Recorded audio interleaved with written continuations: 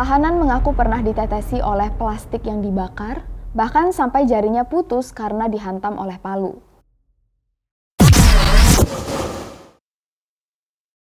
Hai guys, apa kabar kalian semua? Welcome back to Ruang Gelap. Kali ini kita bakal ngelanjutin kasus tentang kerangkeng di rumah Bupati Langkat. Kemarin kan kita udah pernah bahas tuh asal mula kenapa kerangkeng bisa ditemukan dan dugaan-dugaan di awal. Kali ini udah keluar lagi berita baru tentang kebenaran fakta dan kesaksian para tahanan yang serius. Gue sampai speechless kok bisa manusia melakukan hal kayak gini. Langsung aja kita masuk ke fakta-fakta mengerikan yang telah terkuak. Welcome to Ruang Gelap.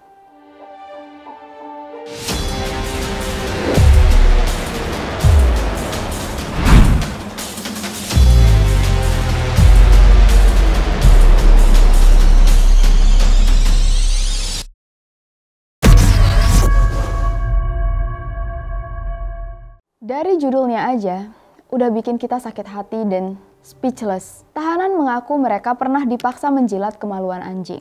Para tahanan juga dipaksa untuk saling melakukan sodomi. Ada dua tahanan yang pernah ditelanjangi dan diludahi di mulut, dipaksa minum air seni sendiri, dan dipaksa menjilat sayuran di lantai. Karena ternyata Terbit juga punya jabatan sebagai Ketua Majelis Pimpinan Cabang Pemuda Pancasila Kabupaten Langkat, di berita dituliskan, kemerdekaan tahanan dirampas oleh pasukan terbit yang berasal dari organisasi pemuda Pancasila. Tapi apakah para anggota adalah anggota resmi atau cuman orang yang berpura-pura sebagai anggota masih dalam penyelidikan.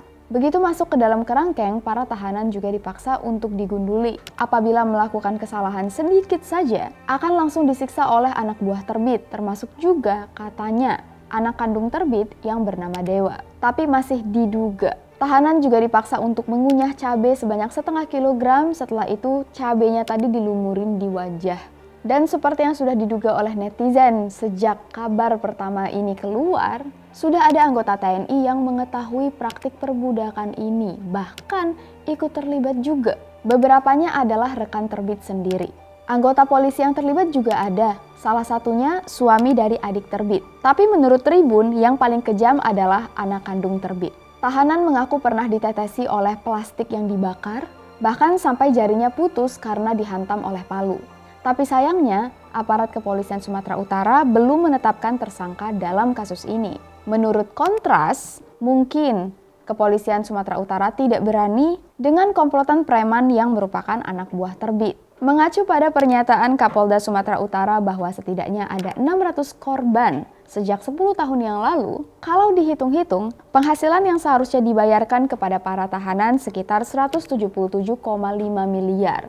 Yang berarti inilah total keuntungan yang diperoleh oleh terbit. Kenapa para tahanan atau korban nggak kabur pulang ke rumah masing-masing? Karena mereka sangat takut dengan terbit. Dulunya kerangkeng ini sempat disebut sebagai pusat rehabilitasi narkoba. Tapi menurut tim LPSK, sepertinya ini cuma kedok untuk menutup-nutupi perbudakan modern yang dilakukan oleh terbit secara ilegal. Dan sampai di sini dulu informasi terbaru kita tentang kasus perbudakan Bupati Langkat. Kalau nanti ada informasi update, pastinya bakal ada video baru dari Ruang Gelap. See you guys in the next video. Please, please, please stay safe, take care, and stay alive.